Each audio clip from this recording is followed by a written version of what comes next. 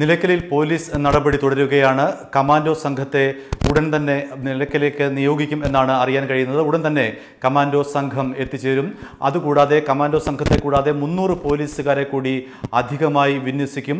അക്രമികളെ തുരത്തുന്ന ഒരു നടപടിയിലേക്കാണ് ഇപ്പോൾ പോലീസ് എത്തിയിരിക്കുന്നത്. പോലീസിന് നേരെ നിലയ്ക്കലിലെ രണ്ടാം ഗേറ്റ് കേന്ദ്രീകരിച്ച് ഒരു സംഘം അക്രമികൾ കല്ലേർ നടത്തുന്നുണ്ട്.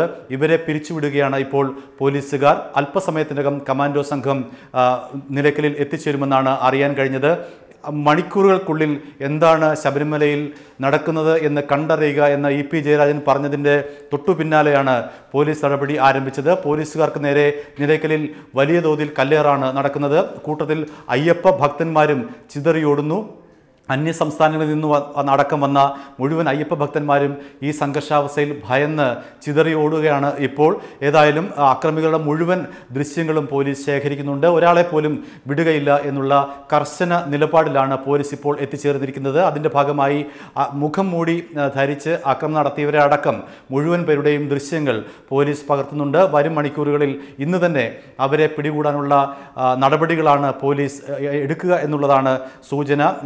നാമജപ ഘോഷയാത്രയുമായി ബന്ധപ്പെട്ട് രാവിലെ വന്ന സ്ത്രീകൾ മടങ്ങി അവർ കയറി രണ്ടാമത്തെ ബസ്സിൽ അവർ കയറി പോകുന്നതിന് തൊട്ടു പിന്നാലെയാണ് സംഘർഷം ഉടലെടുത്തത്. നിലയ്ക്കലിന്റെ രണ്ടാം ഗേറ്റിൽ ഇപ്പോഴും സംഘർഷാവസ്ഥ തുടരുകയാണ്. പോലീസും പ്രതിഷേധക്കാരും തമ്മിൽ ഇപ്പോഴും ഏറ്റുമുട്ടിക്കൊണ്ടിരിക്കുകയാണ്.